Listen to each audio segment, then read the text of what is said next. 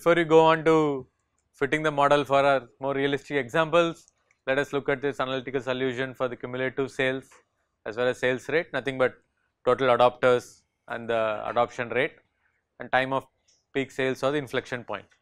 Yeah, so time of peak sales will coincide with the inflection point. So, these are the different terminologies for same thing. Just make a note.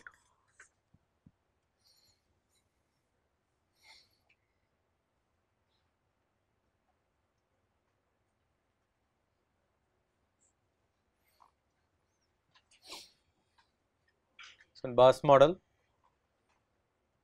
we written that AR is nothing but dA by dt that is change in the adopters which is A into P um, plus C into I into P into A by N. Since we set uh,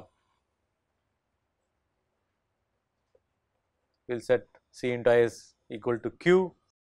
And we already know that uh, P is nothing but N minus A.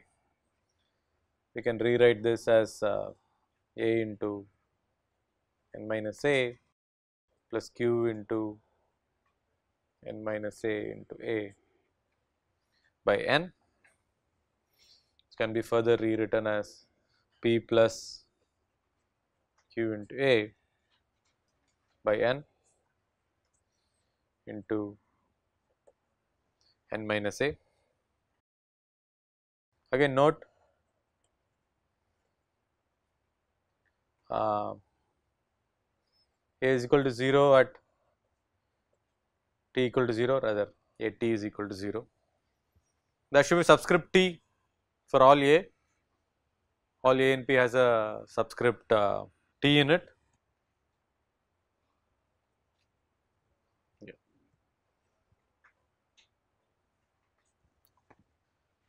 We started off with similar dA by dt equation in the previous case and then we had a lengthy derivation. I will take the liberty to skip that part and directly jump to solving one. Yeah. A small, oh sorry, should be small p. I'm sorry. Small p, small p, sorry.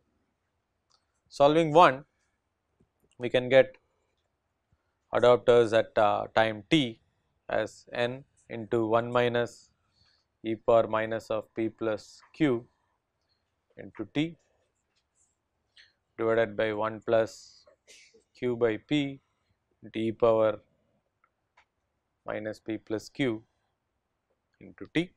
I can call it equation 2. Um, based on this we can get our uh, time of peak adoption in a similar fashion or your T star what is earlier is minus 1 by P plus Q to ln of P by Q. So, this T star for the cases when P is greater than Q becomes negative. So, that means T is uh, negative. So, that is why you are having a peak at uh, t equal to 0 and uh, the number of adopters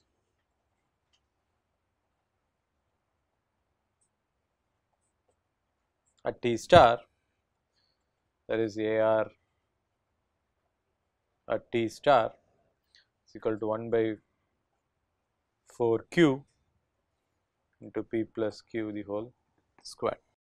This can be derived in a similar fashion as we saw last class, it is just um, little uh, time consuming, but not that difficult you can uh, solve that because it is just one variable you just have to integrate it. Um, yeah, to our Bass model. So, people have been using the Bass diffusion model for quite some time. The various studies that has been uh, reported to look at the diffusion speed across various countries and products. For example, that paper uh, the link is given. So, they are given some best guesses of P's for various type of products. the P's and Q's are going to differ based on whether it is a FMCG good, a fast moving consumer goods or is a durable goods um, etc. For example, a baseline case of US consumer durable is uh, as in 76 was given as the base case and based on that people have given uh, various estimates for uh, P's. Um, similarly, we have various estimates for Q's as you can see even in the base case the best case for P is 0.02 well best guess for Q is 0.47 where word of mouth is clearly dominating here as compared to uh, over uh, advertising effects. Um, similarly, things can be compared across. Like so non-durable goods for example, uh, let us see. There are things like industrial goods which are quite comparable. It's 1.149 it's 1.05 things are somewhat comparable in case of some of the items as opposed to the other ones where it is quite far apart. So, with that let us move on and figure out how we are going to do for the same example we will take up what we did last class. So, suppose we are given the sales rate again we have a nice uh, hum shaped pattern of the sales rate or the adoption rate. Now, how will we fit our parameters uh, or our estimator parameters for the Bass model which in this case happens to be P, Q and N. When it was only Q and N that is C into I and N, we use the use couple of ways that we solved it. Now we have another factor called as P. So let us see how we can do that. Let us take the equation as it is. Let us take what is happening to our say AR. Uh, instead let us just put AR at time t plus 1 is p plus q by n into n minus a t which can be further expanded as AR at time t plus 1 is p into n plus q minus p into a t minus q by n into a t square. This particular equation is of the form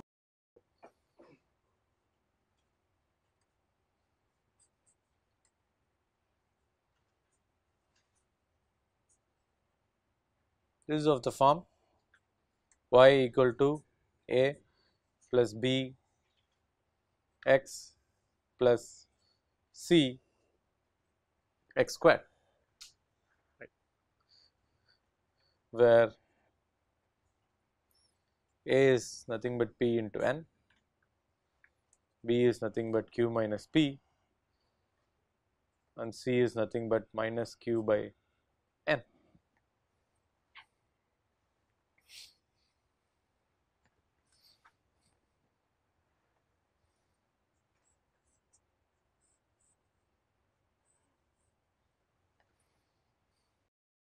So, now what you have is a nice polynomial already here which we have the output variable y in terms of input x which x and x squared and I am just fitting a polynomial to that.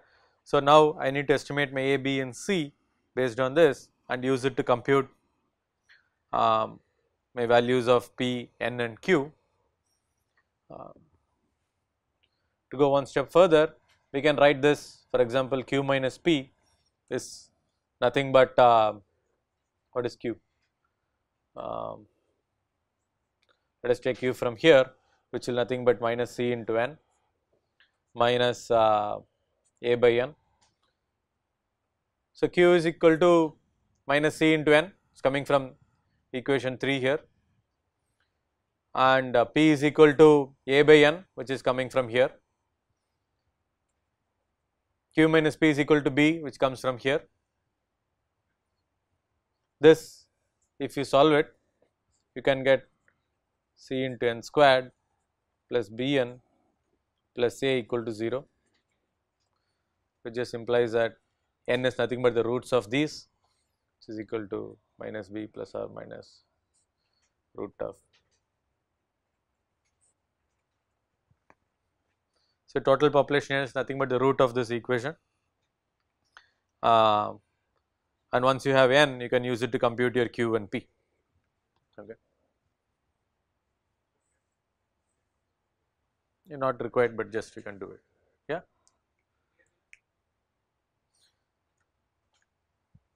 We changed it sorry. Uh, okay. So now we can actually use this to build a regression model which is what you guys are going to do. So, you can just make note of the equation A, B and, and Q. Again once you get A, B and, and C you can always solve these equations directly or you can compute n and then you can solve it. So, now let us go back to our uh, slides. So, now to fit a Bass model we estimated these parameters p, q and n we need to estimate and we wrote we rewrote the equations for adoption rate and we got this polynomial of this uh, particular form. So, we need to fit a polynomial of the same form. So, we are going to use regression to estimate these parameters in fact you guys are going to do it. So, use spreadsheet do your computation Bass diffusion class dot XLS is presented there. Compute uh, cumulative sales is already computed in the sheet it is available in Moodle please download it. So, cumulative sales A is already computed you compute the square of cumulative sales and then in Excel add the data analysis tool pack and then you click tools data analysis regression and give these exact ranges that is given here.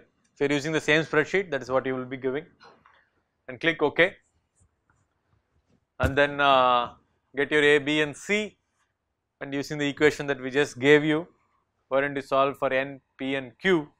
The same data I have already pre-computed the values for A because we already know how to do that.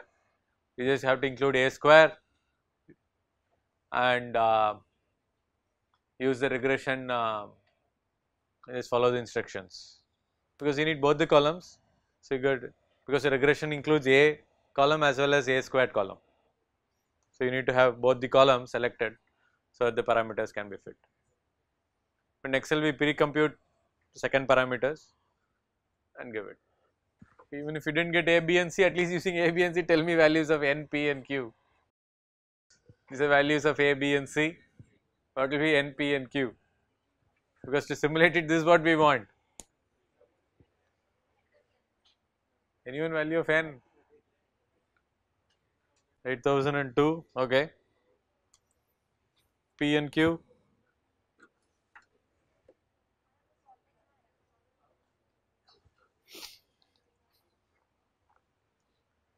You already have N. You can directly compute P and Q P is nothing but uh, A by N. You already have A divided by N should give you P. It will be 0 0.0255 something and Q 1.1852. So, now these values you can put it in your Bass diffusion model in a Vensim file and simulate it to see where you are getting a bell shaped curve for adoption rate. You can substitute these values directly in your Vensim file right away uh, and simulate the model. What are the Vensim, the Vensim model file you have for Bass diffusion, substitute the values of this n, p and q. Since p is less than q, we are going to get a bell shaped pattern for the adoption rate. Please check it.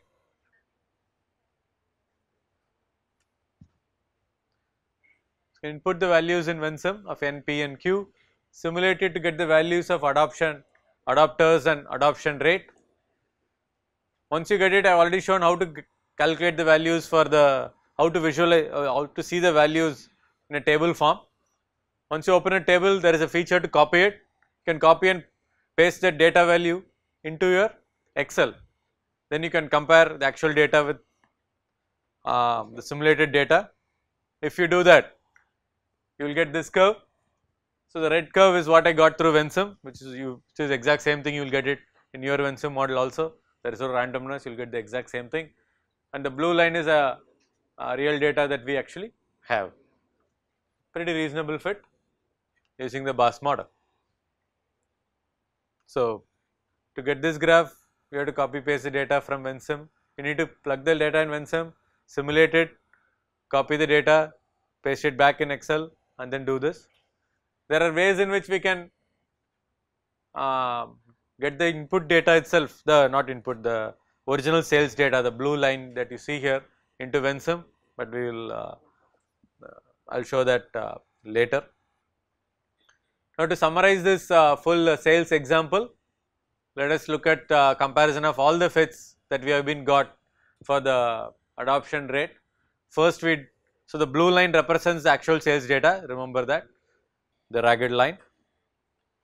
And the green line was a logistic model that we first fit, remember the logarithms that we took um, and fit a linear regression line that is represented in this green line which had a n value of 7900, A naught as 40 and Ci as 1.55.